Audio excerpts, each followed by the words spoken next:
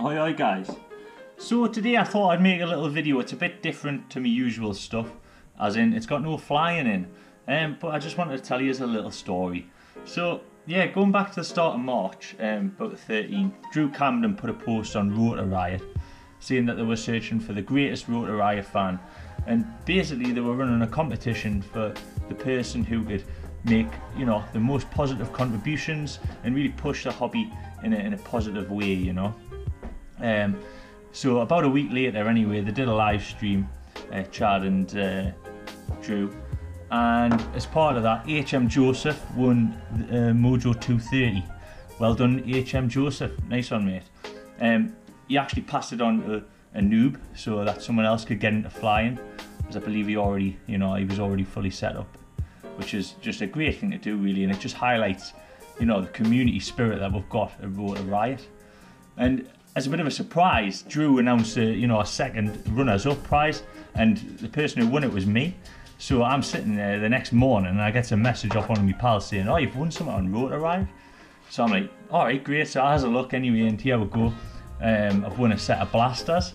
So I just want to say a massive thanks to you know Drew and Chad and the rest of the Rotor Riot team for you know putting that second prize in, and then secondly for picking me. Um, so yeah, so the obviously I'm in the UK, Rotor Riot's in America. You know, I had a bit of a chat, sorted some stuff out, and uh, yeah, so it's eventually arrived. I've had to pay a bit of customs on it with 25 quid, but here ho. So I'm going to open it up, and well, yeah, you guys can do have a look with us, you know. So, yeah, I have my parcel from America. Got my trusty little parcel opener here. Let's uh, get it open. Dogs want to be in the garden, but they can wait until after I've opened this up.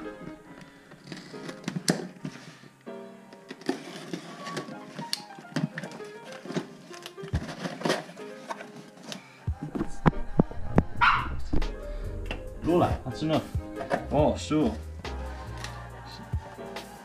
straight away I can see that not only have I got four blaster motors, but guys have actually been kind enough to send us a fifth one, a spare one as well.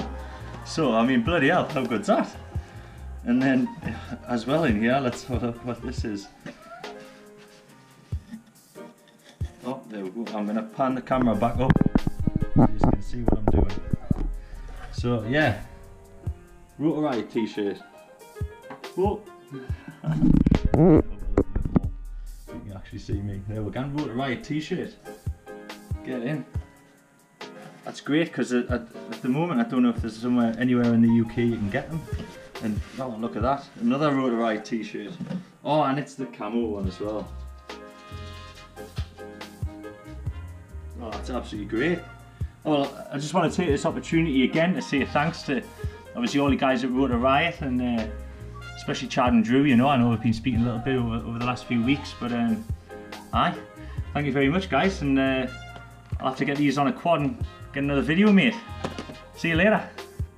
Alright guys, so in all the excitement of opening my package from Rotor Riot, I realised I didn't actually even like open a motor up and, and show you guys, so I'm going to do that now. So I'm, I'm just going to point the camera down a bit and then you'll be able to see what's going on. So yeah, so they come in like a quite nice, cool little box. And uh, yeah, it's got some QR codes on the side there. A little bit of information on the back. Nice design. So we'll open it up.